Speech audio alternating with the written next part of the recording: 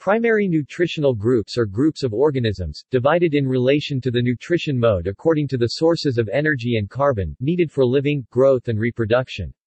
The sources of energy can be light and organic or inorganic compounds, the sources of carbon can be of organic or inorganic origin. The terms aerobic respiration, anaerobic respiration and fermentation do not refer to primary nutritional groups, but simply reflect the different use of possible electron acceptors in particular organisms, such as O2 in aerobic respiration, or nitrate NO3-, sulfate SO42-, or fumarate in anaerobic respiration, or various metabolic intermediates in fermentation. Because all ATP-generating steps in fermentation involve modifications of metabolic intermediates instead of the use of an electron transport chain fermentation is often referred to as substrate-level phosphorylation. Primary sources of energy Phototrophs, light is absorbed in photoreceptors and transformed into chemical energy. Chemotrophs, bond energy is released from a chemical compound. The freed energy is stored as potential energy in ATP, carbohydrates, lipids or proteins. Eventually, the energy is used for life processes as moving, growth and reproduction. Some bacteria can alternate phototrophy and chemotrophy, depending on availability of light. Primary sources of reducing equivalents Organotrophs, organic compounds are used as electron donor, lithotrophs, inorganic compounds are used as electron donor.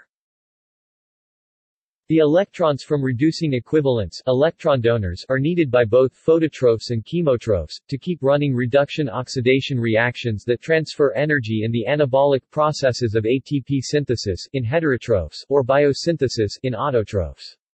The electron donors are taken up from the environment. Organotrophic organisms are often also heterotrophic, using organic compounds as sources of electrons and carbon at the same time. Similarly, lithotrophic organisms are often also autotrophic, using inorganic sources of electrons and CO2 as inorganic carbon source. Some lithotrophic bacteria can utilize diverse sources of electrons, depending on availability of possible donors. The organic or inorganic substances e.g., oxygen used as electron acceptors needed in the catabolic processes of aerobic or anaerobic respiration and fermentation are not taken into account here. For example, plants use water as electron donor to biosynthesis, being lithotrophs.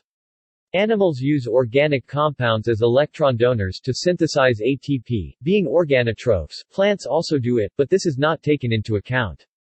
Both use oxygen in respiration as electron acceptor, but this character is not used to define them as lithotrophs. Primary sources of carbon Heterotrophs, organic compounds are metabolized to get carbon for growth and development. Autotrophs, carbon dioxide CO2, is used as source of carbon. Energy and carbon a chemorganoheterotrophic organism is one that requires organic substrates to get its carbon for growth and development, and that produces its energy from the oxidation and reduction redox of an organic compound. This group of organisms may be further subdivided according to what kind of organic substrate and compound they use.